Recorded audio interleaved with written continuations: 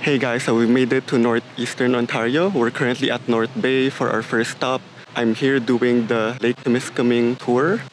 The Lake Temiskaming tour is a cross-province tourism initiative between Ontario and Quebec and it features attractions, sites, culinary stops, restaurants all along the Lake Temiskaming shores area. It's a great way to experience the region's Anglophone, Francophone, and Algonquin cultures.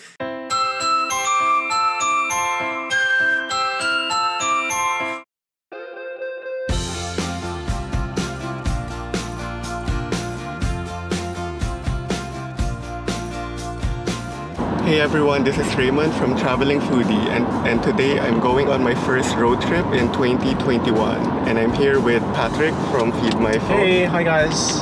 And we're headed to northeastern Ontario. Right now we're on the road and it's three and a half hours to our first stop in North Bay and we're doing the Lake Temiskaming Shores tour. So we made it on our first stop which is White Owl Bistro in North Bay and they're a locally owned restaurant. It's a Feast On certified restaurant locally sourced. Everything is within Ontario um, produce and products. So let's check it out.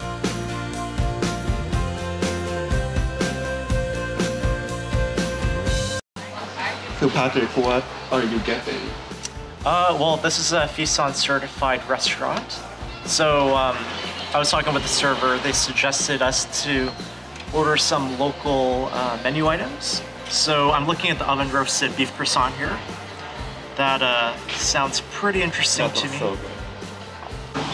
So this is the grass-fed beef and bison burger and it's pretty massive.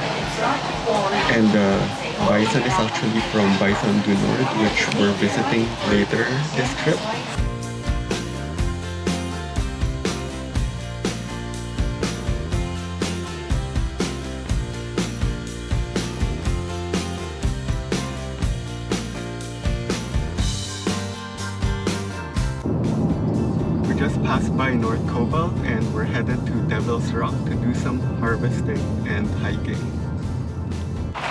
Hey guys, so we're here at Devil's Rock and we're doing a hike and harvesting tour with Jonathan from Vert Hi.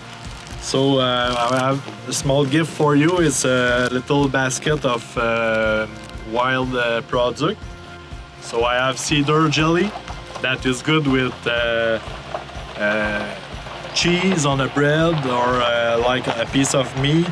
I have cattail hearts that uh, are good in salads and uh, fir syrup. Fir syrup are very good with uh, blueberry pancakes and uh, other desserts. So uh, that's for you guys. so. It's the first time for me at Devil's Rock, but I do partnership with other people uh, in Ontario, and I do trips uh, everywhere on the territory. territory. Okay.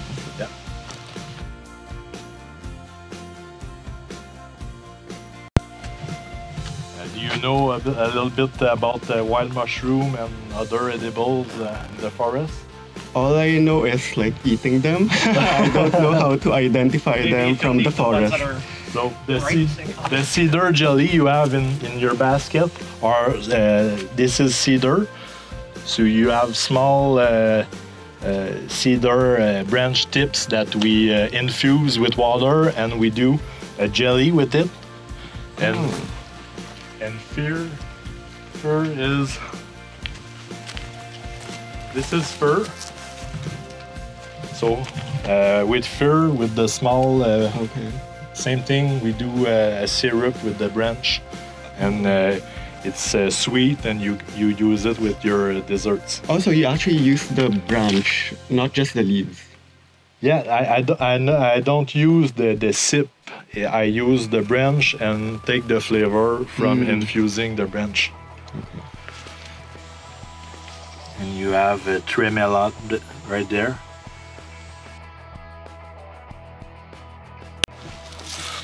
These are chanterelles. These are very nice mushroom. Easy to uh, identify. Yellow, bright yellow.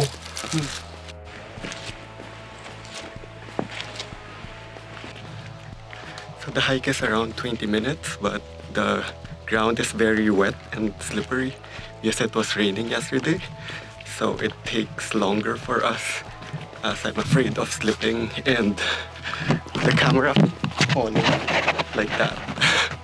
What you can harvest in Ontario is similar to Quebec or there's big difference? It's very quite similar. Uh, it's the difference is more uh, more you go south, you we will have different species, but uh, from around uh, there, it's it's very uh, similar there from Quebec or Ontario Okay. side. But if you go uh, south, like Montreal, Toronto Uh-huh. region, Ottawa, there's, there is uh, different species there. Okay. And is there a limit? Like, like do they allow you to just take whatever? Yeah, there are no uh, no regulation Okay. uh, for mushroom picking. Okay. You, Okay, so you don't, you don't need a license like fishing. Yeah, You like don't need a yeah, that's what I was license. thinking of. you need a license to commercialize them, Oh, Okay. okay, okay. Uh, but you don't you, you don't have a limit Okay. to harvest Ah, mushroom. Okay, that's good to know. There are some limit in France, like for uh, CEP uh, and stuff like that, but not uh, not in Canada. Ah, okay. Yeah. So we're reaching the end. I can see the the shore is seen.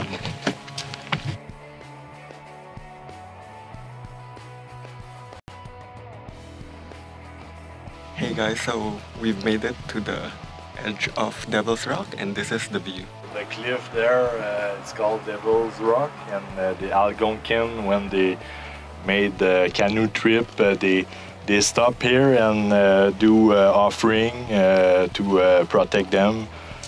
So Devil's Rock is a, a very, very nice place, and we have a, a nice view of the Timiskaming, Lac Timiskaming. So this is Devil Rock, like what we're standing on? Yeah. Okay.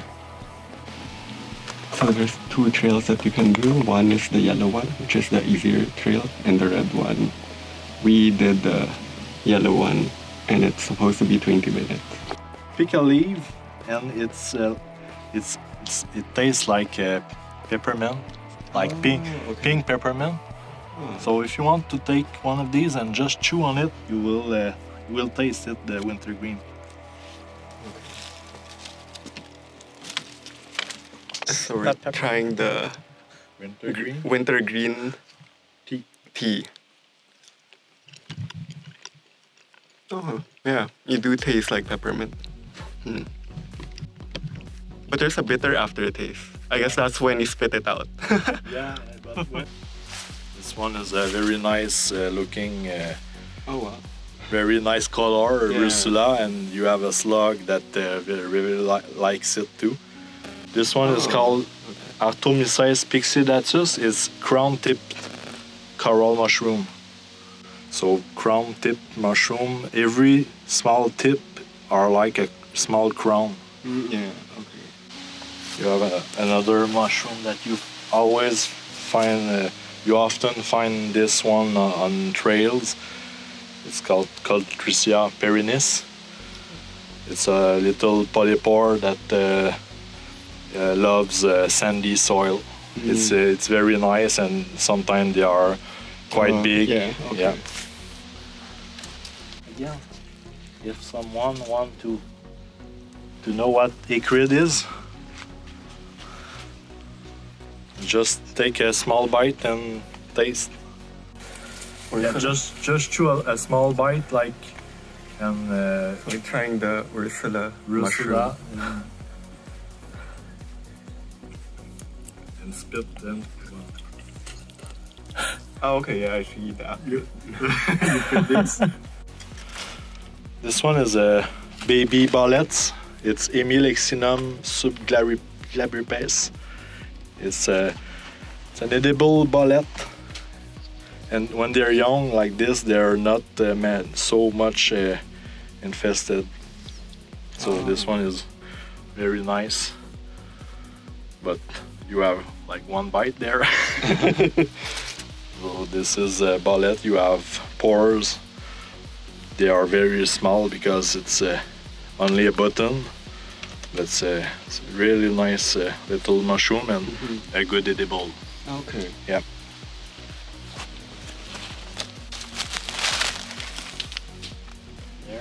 Have mushroom that grow on wood and uh, you have three gills and they are getting pinkish. It's a old old uh, old mushroom that uh, grows in uh, in association with wood. It's uh, it's an old one. Mega Megacollybia rodmanii. So after hiking, our reward is a food crawl in Temiskaming Shores, starting with L'Autochtone. They feature a contemporary take on North American classics as seen through an indigenous lens. It'll be my first time trying indigenous food, so I'm excited.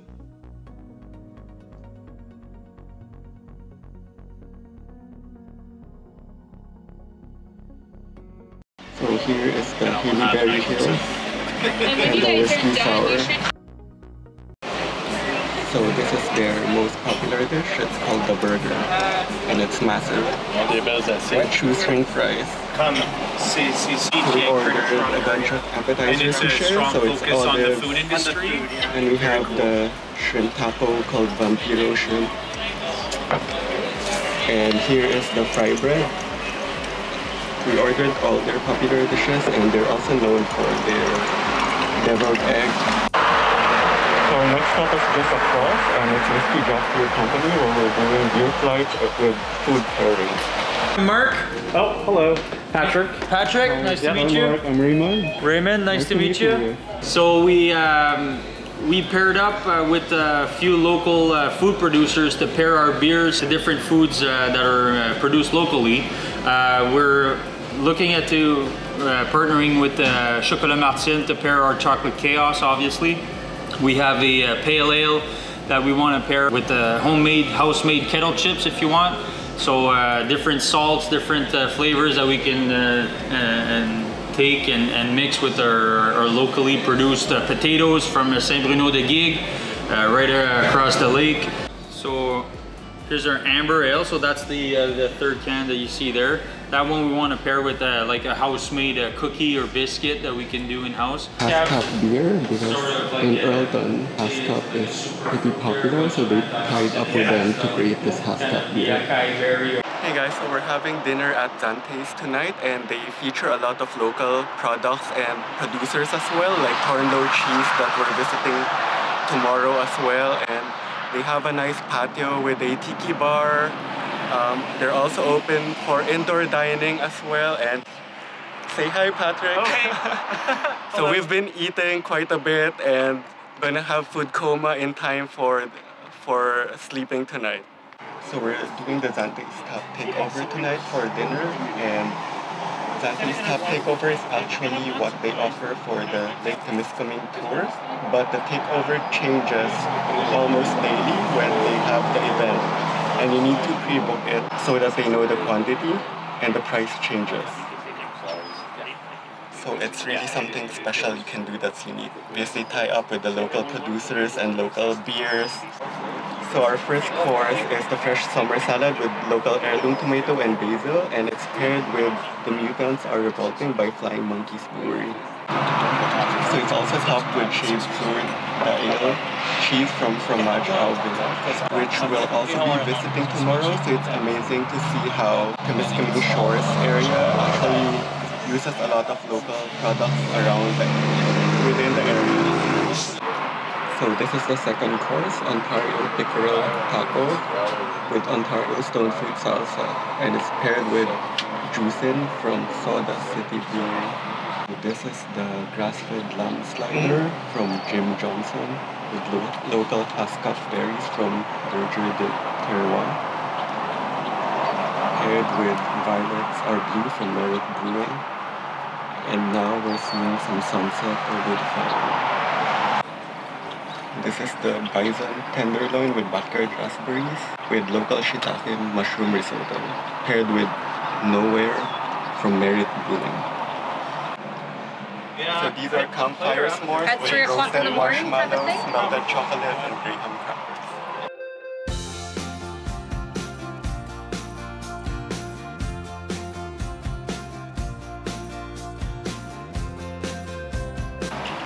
Hey guys, so we're checking in at the Waterfront Inn in Ulisford. So we have a waterfront view and it's gonna be amazing.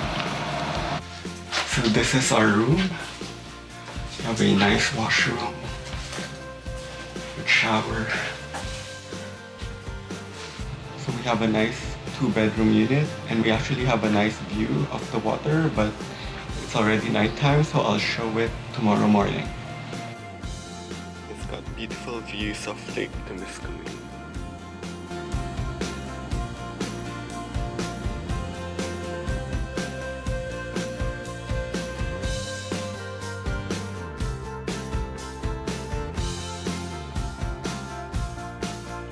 Hey guys, so I'm so excited because I've been eating a lot of the bison dishes in Temiskaming Shores and most and almost all of them come from Bison du Nord. So we're now touring the bison farm and we'll be checking out their bisons.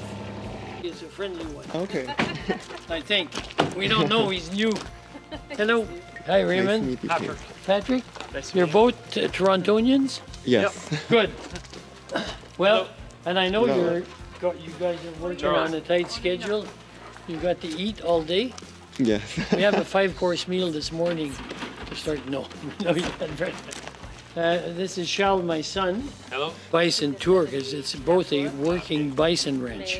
We've been at this for 48 years, ranching bison. So we're one of the oldest bison ranches in Canada. It's in, it's a new practice. Of course, people have been raising cattle and hogs and chicken and for 10,000 years, I gather, humans. But for bison, it's a very recent experiment that they actually are farmed commercially. Up until the late 60s, they were considered game fauna, just like moose. So you could not own them privately, you could not do commerce and, uh, with bison. And then they were, in a sense, deregulated or given a twin status, both wildlife in the national parks and in state parks in the U.S., but also allowed to be ranched commercially, private in private hands. So uh, that's what we we got in in those early days, and have been working at it since then. And now we have a large bison ranch, probably the largest one in eastern Canada, 300 bison. So, and it's a meat and meat production enterprise. We produce animals for meat. But we also have added a tourism side to it. We're strong local promoters in the area uh, develop, and so I see your products everywhere. Yeah. yes, Yeah. it's it is a And, long. and, and it's nice to see experience like from the producer all the way to the restaurant. Yes. It is. Yeah. Yeah, we try hard. But it's it's it's like missionary work though. but it's hard. It's a world that demands consistency, standardization, and price competition. All those elements are always there that limit that. So to, for this to survive as a commercial enterprise, and it's a multi-generational. My father was with me in the early 70s on this. Then I kept it on. Now my son is uh, and daughters are taking ownership so, of the farm. Yeah, we're hoping, and uh, in a few days we're going to have the fourth generation. So we're really bucking the trend there. We're going for stability, long-term ownership of the land, and long-term stewardship of the land. But I'll show you when we take people out in a wagon. They're very, they appear menacing. It's a very large, big animal, but they're not aggressive at all. They're placid. It's it's an ancient bovine, and so we can go right into the herd with this wagon behind the tractor. So let's go take a look. Let's jump in there. This is um, Merci Charles. Charles m'a laissé Okay guys, so we're now riding a wagon and we're going to be touring the bison farm.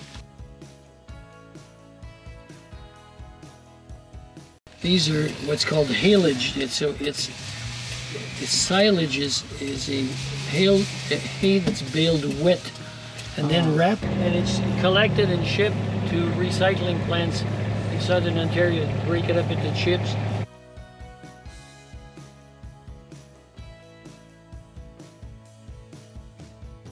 People get to see them close in and we explain depending on what group we have on the wagon 30 35 people Yeah. we'll, explain, we'll adjust it Yeah. uh, we'll do it in French and we'll do it in English. We'll do, if they're experienced farmers, we'll talk about the grass species in the Yeah. field. Uh, if, not, if, if they're young children, of course, we'll concentrate on the calves and the mothers and uh, the milking and so on, how they, they feed 20 times a day, these calves. So it will make it interesting. And it's about an hour and a half tour. We'll go see the herd. You'll see how close we can get to Yeah, them. I could do that. And uh, it's a very interesting animal. There's all kinds of history related to it, of course. First Nations, indigenous relations to the bison. There's all kinds of stories on that about the multiple uses they made of the bison and its bones and its hide and its meat. And so there's all kinds of stories there. We we usually bring an experiential kit with us into the field, which is some bison bones, bison ribs, and of course some of the fur because they shed winter coat every mm-hmm. year, and it can be knit, it can be woven. So we show that we have people touch and feel that in the skull and so on. So there's, that part of that is fun. Then the wagon ride itself is a lot of fun because it's it's a wagon. It's Yeah. open air. It's got a, a canvas roof, but it's it's open air and it shakes and moves and we it's comfortable, but it's not over comfortable. You're not in plush seats, and so it's a nice feeling. The kids love it. Uh, some of the mature kids, you guys. Go into the forest and see what's going. Look at all these now this is the bisons. Hey guys, so now we're up close with the bisons and it's amazing to see there's 300 bisons here and over 640 acres of land. And they're all pretty much hiding in the forest as well, so it's cool to see. Then we come back and we show them the handling facilities, which is really a nice, big part of a bison operation. Handling the bison is, is uh, the tough part. So we need to tag them because we want to have we want to have traceability in the herd, which cows are having calves are fertile and which aren't. And of course, uh, in animal husbandry in the modern world requires traceability. But we work at it really hard. The regenerative aspect, we're going to be certified regenerative. We're certified uh, animal welfare. We're certified grass fed. These are third party certifications. And so when we say grass fed, it is not, not a gr- kernel of corn and no grains, no oats, and all grass, which is a real challenge. So we have these pastures that are we do what's called rotational grazing. We move the animals from field to field. Now moving bison is not as easy as Well, you got the helper, the dog. yeah. The dog. Well, the dog actually is afraid of the bison. They, they perceive him as something like probably uh, either black bear or wolf, and so they attack him. A gift shop, and here we'll have a variety of bison souvenirs. Oh, Look at the skulls. Yeah.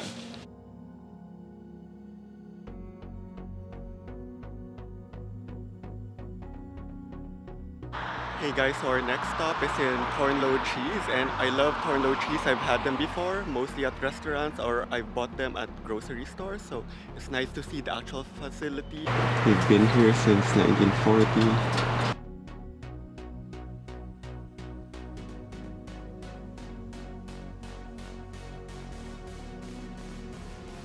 We hiked Devil's Rock yesterday and they also have a cheese that's based Devil's Rock. It's a blue cheese and you can see the design is like a big rock.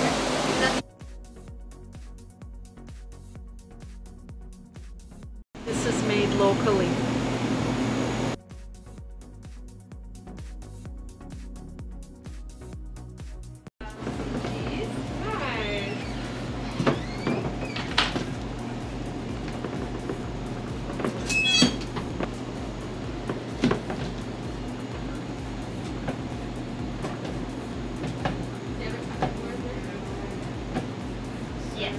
Cheese curds and butter tarts.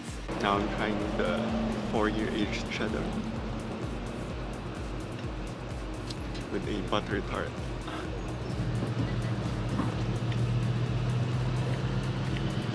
Charlie Foods here at Norma today, trying out our amazing Timiskaming And it's a good mix. We have to offer.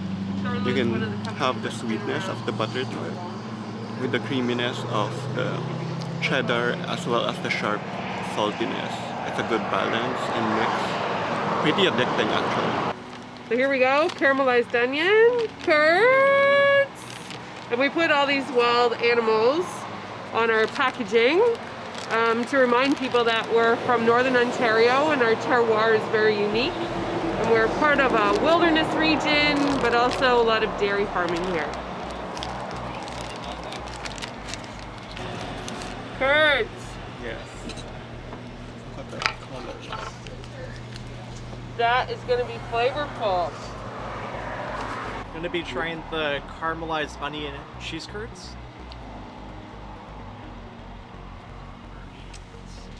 This one over here. it's really unique. We have some happy customers from Thornloe Cheese.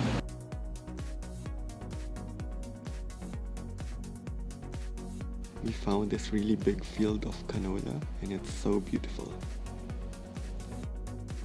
Hey everyone, so we're now here in the Quebec side and we're here at Farm Nordvie and they actually are a family run farm and they specialize in strawberries, raspberries, rhubarb and they also grow some different sorts of vegetables. Welcome Thank at you. Ferme Nordvie. Um, okay, but I'm going to uh, show you a little bit around, do a small visit of the place, maybe 15 minutes, and we're going to taste uh, a few things. We do uh, always a different visit in every day because uh, we visit where we work today, or if you come next week, we might be in somewhere else. So you see the real life in real time. So we can just pick fresh raspberries. Mm, very tasty and sweet. Oh, yes, Careful on the ground. Okay, so um, this is our small kitchen for uh, dehydration. We do transform every vegetable that are not sale at the fresh market here. So this is really simple. We have, uh, this is actually, this is a salad that we didn't sell. And uh, we do not want to lose it, so, we wash it. We Dehydrate? de- dehydrate, and after that we uh, we do mix. And right now, Ariane is transforming the garlic scape in uh, garlic scape finishing salt. Uh, we do a lot of finishing salt. This is uh, garlic scape finishing salt. So this on a fresh corn with butter. This is really really good. Purple radishes finishing salt. Uh, the the juice because we do sparkling juice with strawberry, with rhubarb, and sometimes with ra- uh, raspberries. And it's also where we make the alcohol. We have aperitif and after meal. And when the strawberry come from the field, we freeze it in air. But before that, we never pick, pick up the yeah. We never do that by hand because it's really, really, really long. We do that with uh, this machine. We put the washed strawberry right there, and it's go through. We have the um, the juice is, is coming through that, and this is what we transform. And just for fun, because this is one of my favorite things to do when I come here. We're going to taste the, the strawberry juice, but from the tank. Oh yes, careful. In the tank there is always more pressure and uh, it smells most, uh, uh, more and uh, that's just fun. So fresh strawberry juice from the farm. Uh, these three tanks are used for producing the juice. So good. Oh my gosh. The two other are empty for now. We just finishing to uh, You have to try this. this. Aperitif. uh, It's uh, in fact a strawberry wine, fortified and aged in an oak barrel. Uh, it's not sweet, it's dry, and it's uh, 14 years old right now. It's madérisé, you will see it, it tastes like um, dry fruit, and it's a little bit smoke and with the oak taste. We like to serve it with the campfire, with the with the smoke that you can smell while you're drinking. But I do not have campfire. It's one addition I have to make one day. So we're And trying imagine- this imagine strawberry um, fruit wine. a jerky and they do it differently from grape wines. It's actually fermented strawberries and they add alcohol in it. Hey guys, so we're here at Le Fromage au Village in Quebec and they specialize in artisan cheeses made from milk around the region and they are actually very famous for their fresh cheese curds. And in the shop, they're actually mostly available on Mondays for the fresh cheese curds, but we still hope we can try some of the cheese curds and maybe get a tour of the facility. Hey guys, so we're all dressed up and we're gonna tour the cheese production facility and let's check it out. Um, today it's our biggest day of the week, okay? Oh, okay. So, so we have a lot of order because our fresh curds, the summer is the biggest time of the year to sell the, the small bag. So each uh, box go to a different grocery store. They're here, so everything is a store. So we have two of our delivery boys, so they are leaving with some boxes to go.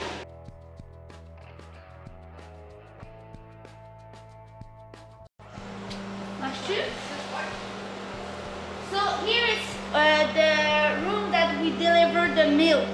Delivery guy come uh, park the truck outside of the cheese factory, put it in the, the silo. Yeah, it's outside. Right there. Okay. Okay. So this machine is the uh, pasteurizer. So it's a HTST, so that pasteurize the milk continuously.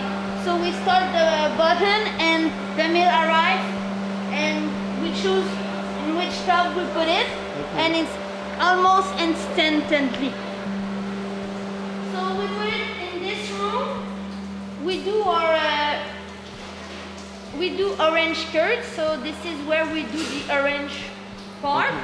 So this is a 1000 tub Okay. okay.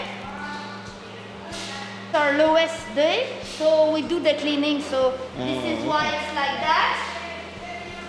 Each week this is the the mold the mold that we use to do the cheddar cheese. So each week we are uh, putting in this tub to uh, wash it with certain product to make sure that they are all clean. So each week, so we do that Friday because it's the lowest day. So they will be in the water and the the, the stuff all night. So this is uh, our 5,000 liter tub. Here it's the we put the some of the cheese needs to go to uh, the tub with water and salt, with salt. So this is the tub that we use to uh, put the salt in it. So this is the our specialty specialty cheese. So this one is La Coulée des Érables. So you can see the difference. So this one is was made on the 8th of June. So you can see that the the orange up here, and this one 29. So they are still white. Mm. So they will be pretty much orange before we sell it. Oh. This is the Dial they are made the 1st of June. Uh-huh. So you see they are bright orange, and this one was 1 3 July. So you see they are brand new. Uh-huh. So they are still no rhyme at all. Kind of thing, all kind of seasoning of our cheese curd. So this one is vegetable, and this is orange curd, and I'm pretty sure we have. Oh, we have a lot of orange, and this is barbecue one. Barbecue. This room is used to cut, we'll see the big mold on the other room, but we use this room to cut the big uh, mold in small pieces. This is our, the, our cheese that's called Angelus. It's a steel camembert. So you see they are brand new. They were made Monday. Yeah, 19 Monday. So they have no rime on it. In a few days, takes about one week, and they will be white like that. Oh, wow.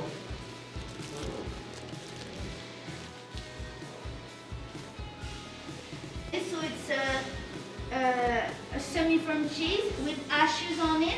So they were not, they didn't put the ashes yet, but they look like that.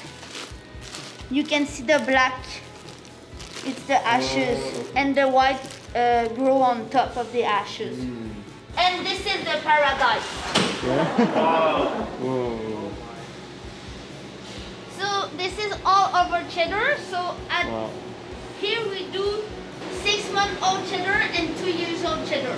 So you can see you have the date on the on the, the mold, so you can see in front of us. That's not that far.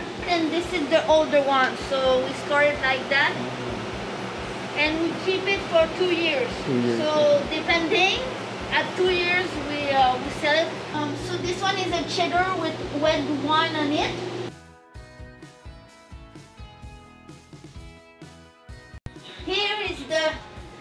We call it the grave, the, the gravy after a big day. So they putting the small pieces in the box Okay. that you will have in your poutine.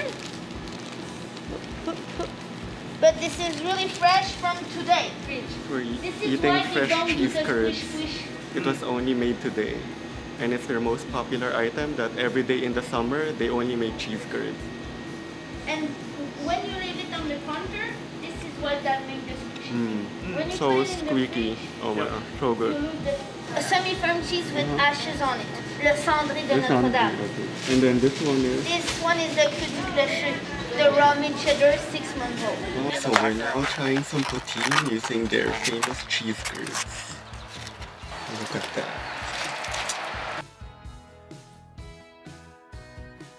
Oh wow. Trying this poutine.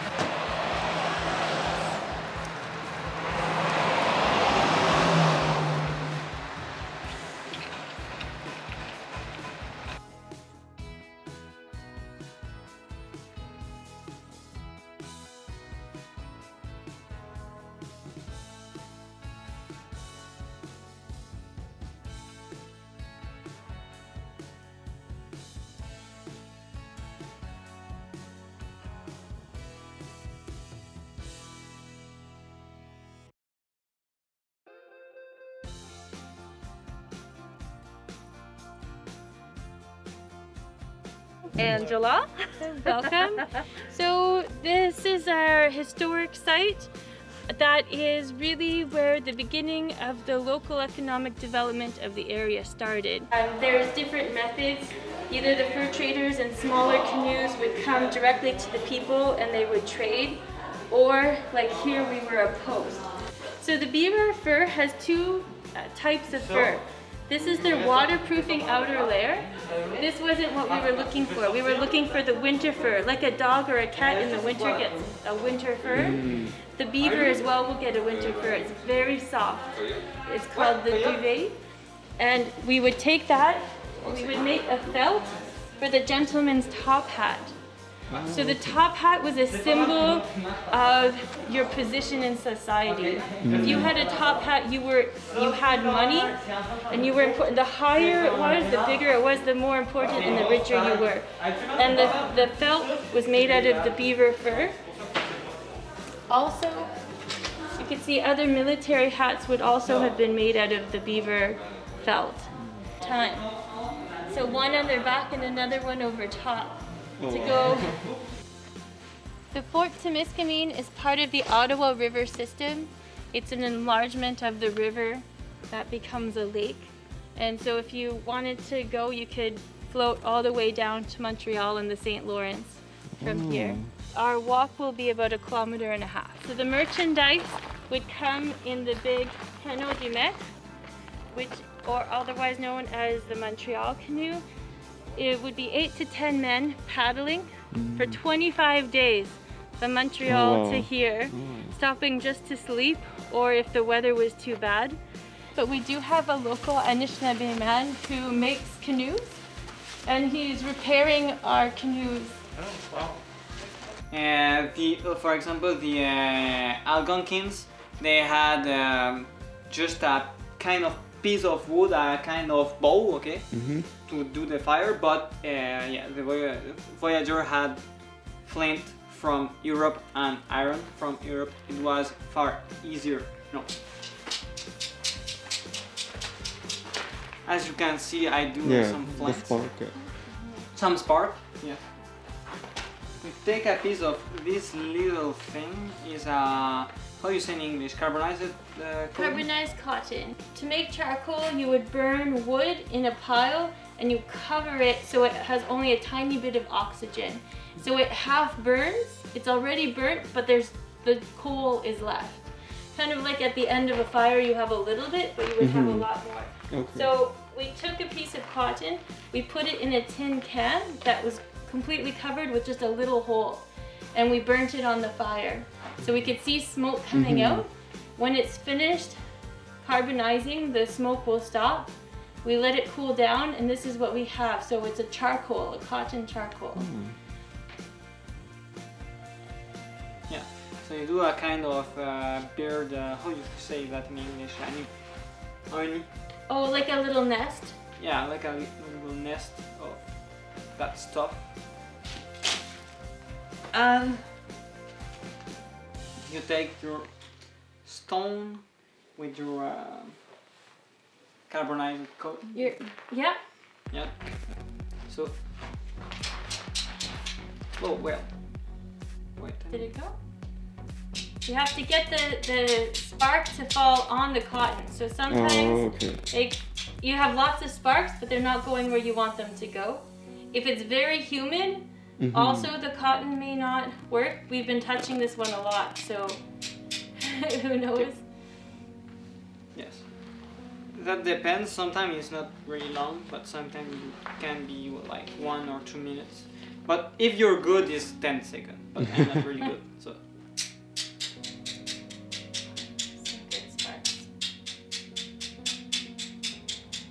You've got some good sparks. It might. Oh. Oh, good. So you can't really see, but it's it's starting to burn. Yeah, it's. Oh, okay. Yeah, yeah.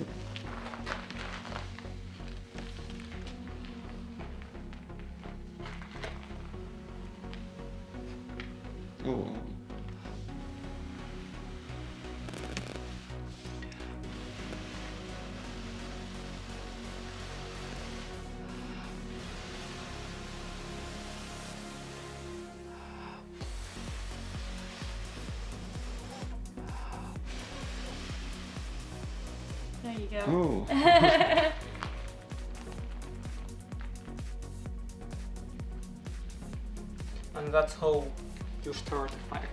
Bridge. Thorn. It could be used as a needle for sewing. Wait, this one? Nope. Oh, right one that here. is- Oh, okay. Yeah, okay. very sharp. Marten, beaver, muskrat, and a value would be given to them, and they could get credits or they could trade right away for items in the store. The fabric and the blankets were the most traded item. They did try to grow corn here. They found it grew the best at the north end of the lake, but they did grow some corn.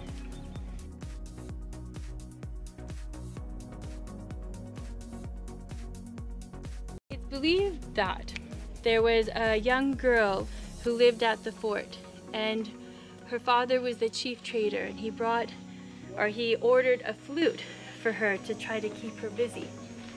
So one day he presented her the flute and she picked it up and she tried to play it.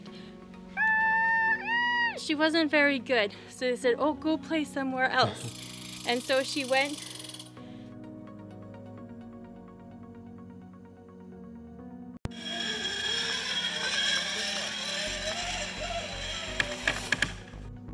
I hope you enjoyed this road trip of Lake Temiskaming tour. It's such a great way to explore Ontario and Quebec.